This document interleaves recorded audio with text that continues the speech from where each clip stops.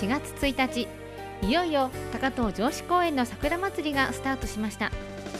公園の入り口にあるニコニコショップ日だまりではたくさんの商品が並んでいます。ニコニコショップ日だまりではこの公園の枝切りした高遠小彼岸桜の枝や花を利用して就労センターの皆さんによって作られたしおりや草木染めの手ぬぐいのほか稲の特産品などがたくさん並んでいます。花見に合わせてこちらのお店にもぜひお立ち寄りください。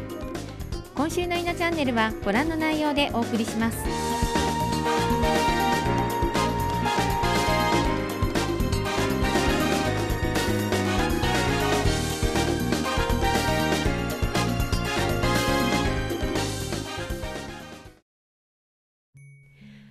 もうすぐ桜色に染まる稲谷。桜は稲の春そのもの風情そのものです。人々はつぼみを眺めて期待を膨らませ花が開けばその下に集いちらちらと舞い落ちる様子にもまた魅了されます。高遠城址公園の高遠小彼岸桜。明治8年1875年に旧高遠藩士が桜の馬場から移植を始めて以来およそ140年。人々の手によって一本一本植え継がれ現在は1500本にもなりました。歴史とともに人々に守り育てられてきた桜を現在中心となって手入れをしている人がいます。西村和樹さん。新興校舎の桜森になって11年目です。えー、と今はですねあのお客様が通る道の上の低い枝とかを上げたりとかですね。あとまあ踏まれてしまうのでそういったところのなんだ管理っていうかそういうものをやってます、はい。まあ、あの桜の花の量はま平年並みかと思うんですけど、まあ、あの冬の状況だったりとか今までの気候の状況が良かったので、まあ、いい色の花が期待できるんじゃないかなと思ってます。えー、とやっぱ自然が一番自然多様なのでそれが一番難しいかなと。毎年いろいろなことがあるので、うん、そういったところですかね。4月の桜の開花に向けて公園内では一年中作業が続きます。夏は葉のつき方などを見て肥料を調整したり枝の剪定や草刈りなども行います。稲谷に霜が降り桜が葉を落とす頃になると冬支度が始まります。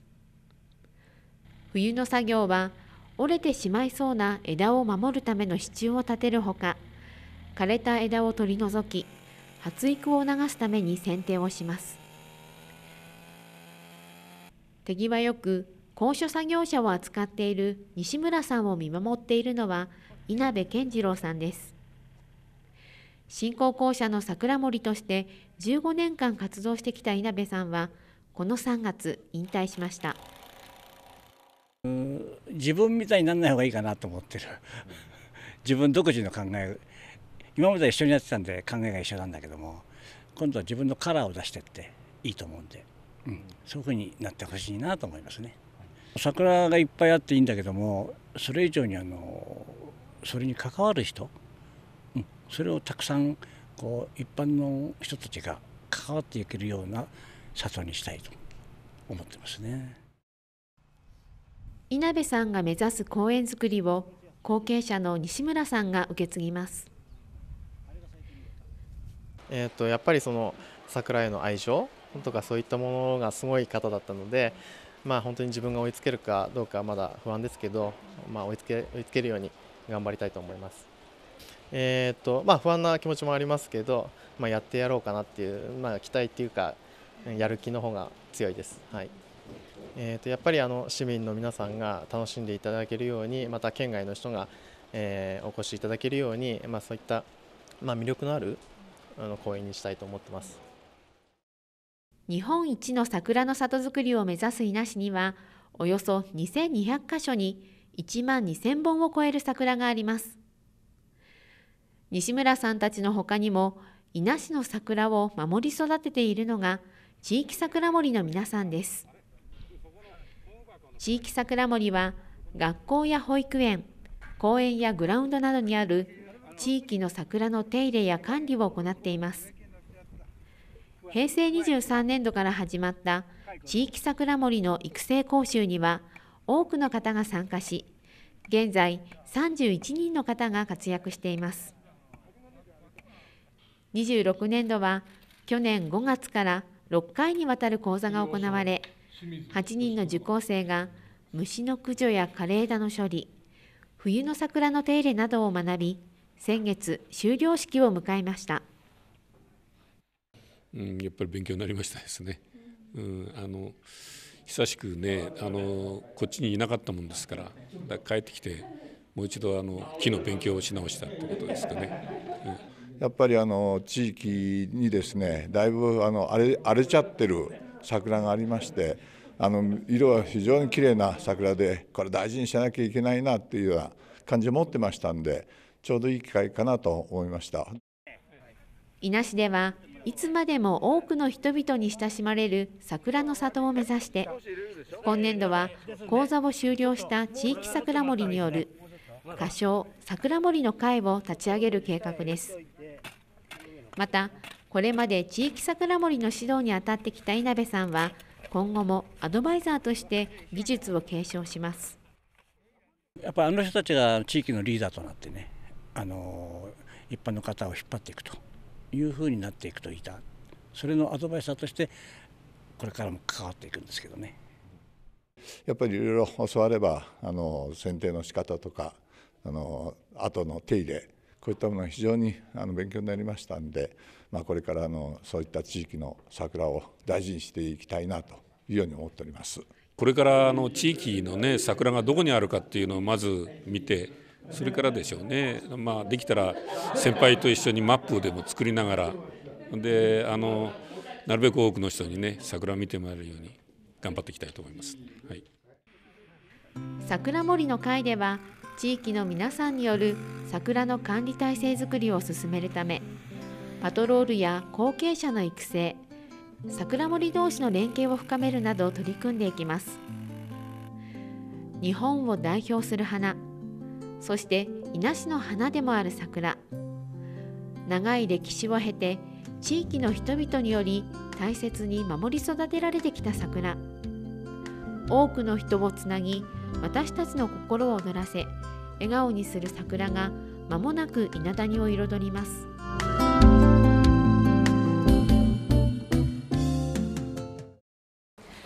さてここからは高遠城址公園の桜祭りについて観光協会の春日さんとお伝えします。春日さん1日には公園開きが行われていよいよ桜祭りがスタートですね。はい。今年の桜祭りは三の丸を拠点に週替わりでさまざまなイベントを開催します。三の丸は公園下のグランド横新徳館の西側に位置する場所でここにイベント広場として無料休憩所を設置します。ここの桜もとても色鮮やかなので休憩しながらお花見もお楽しみいただけます。春日さんではその三の丸を中心に行われるイベントの紹介をお願いします。はい。まずはこちら。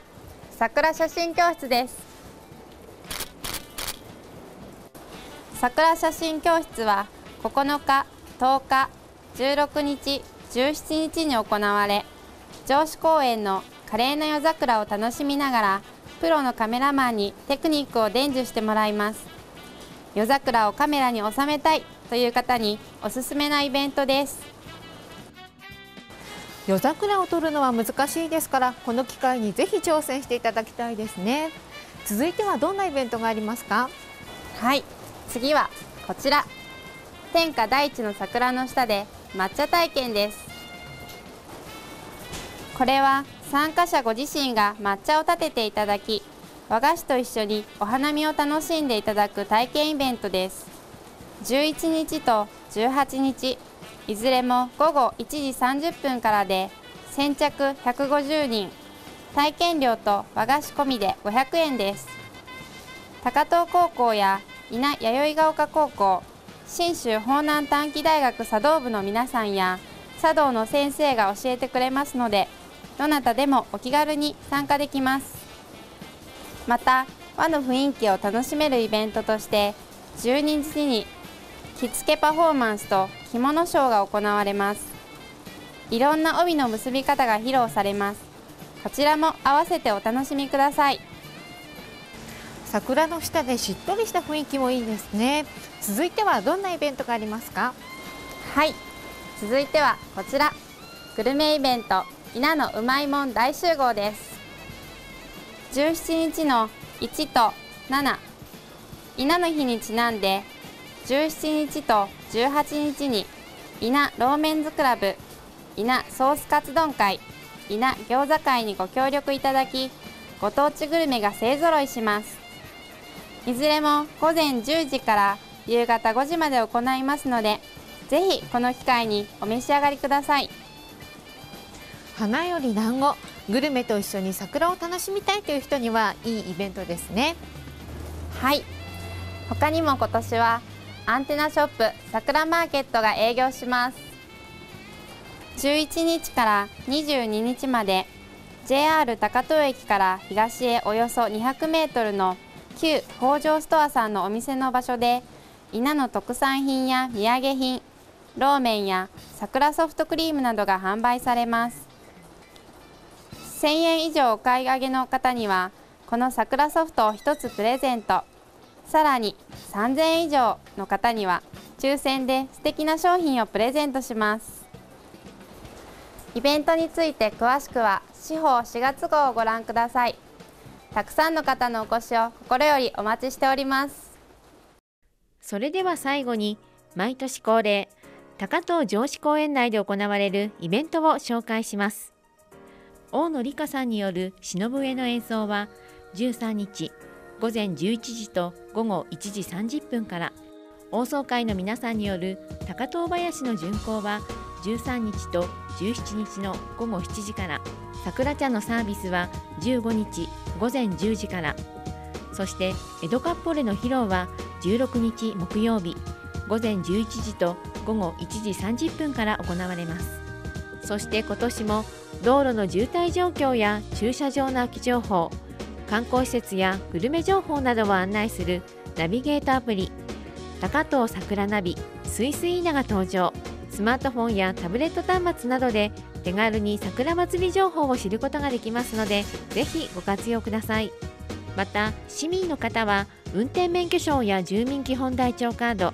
健康保険証学生証など住所がわかるものを入り口でご提示ください。桜の保護や管理地域桜森についての問い合わせは建設課その他桜祭りに関する問い合わせは観光協会までお願いします。まだまだ続くよ。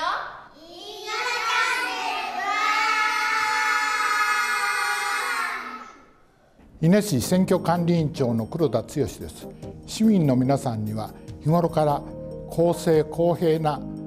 明るい選挙のためにご協力いただきまして大変ありがとうございます。さて4月12日は長野県議会議員一般選挙の投票日です。伊那市選挙区については2名の方が立候補され県議会議員の定数を超えなかったため投票を行わないこととなりました。伊那市選挙区に関しては投票が行われませんのでご注意ください。なお今回の選挙は無投票となりましたが投票は政治に参加し意思表示する。大切な機会です。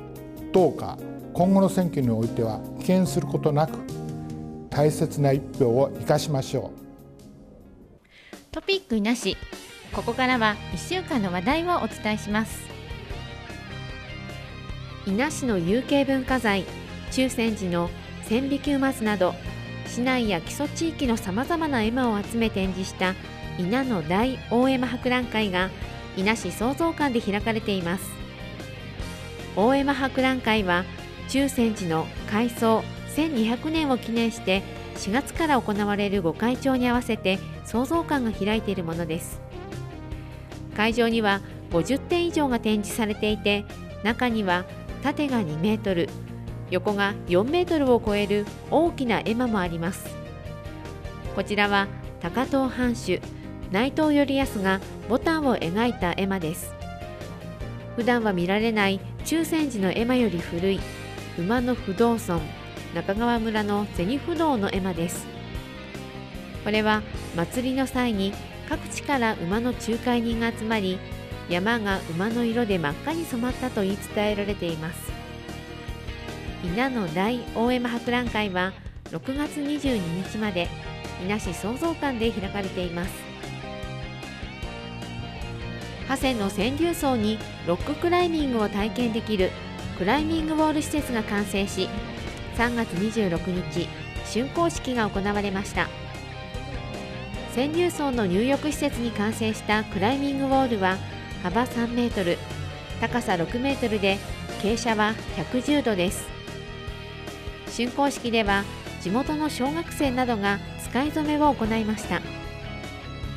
壁に取り付けられた170個のホールドと呼ばれる突起物を掴んで壁を登ります。川柳層の改修を含めた走行時費はおよそ530万円でそのうち300万円は長谷黒河内出身で平成20年に亡くなった渡辺秀夫さんの寄付によるものです。竣工式には渡辺さんの親族も出席しました。渡辺さんは都大の民宿で生まれ中学校時代まで長谷で過ごしその後愛知県に移り住みました。平成20年にがんで亡くなりましたが生前地元黒河内の振興と山岳観光発展のために寄付をしたいと話していたということです。白鳥隆市長は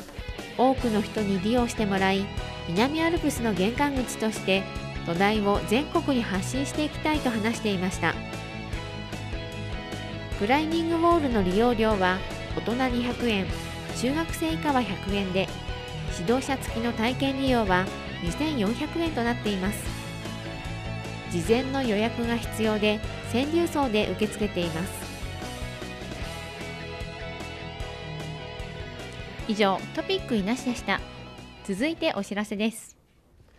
企画情報課から市内バス路線に乗り放題の春休み子ども定期券についてお知らせします。小中学生の皆さんが3月14日から4月12日までの間市内のすべてのバス路線に乗り放題の定期券春休み子ども定期券をご覧の窓口で販売します。小学生券を購入する場合には保護者の方が窓口にお越しください。中学生券は中学生ご本人でも購入できますがその場合には生徒手帳を拝見しますので窓口にお持ちください。この機会に春休みなどご家族やお友達と一緒に路線バスに乗ってお出かけください。危機管理課から新しい伊那市防災マップについてお知らせします。伊那市では河川の浸水想定区域や土砂災害警戒区域避難所や緊急避難場所などを掲載する防災マップを作成しています。この度最新の情報を掲載した新しい防災マップを作成し4月の司法と一緒にお届けします。このマップは竜東、竜西、高東、長谷地区ごとに作成していますのでまずは自分の身近な場所の危険箇所や避難経路を確認するなどして日頃から災害に備えておきましょう。いざという時自分や大切な家族を守るためにこのアップをぜひご活用ください。4月に入り新しい生活がスタートした方も多いでしょうか。伊那市でも新しい事業が始まっています。来週は白鳥市長の焚き火通信地方創生など新年度予算などについてお伝えします。それではまた来週。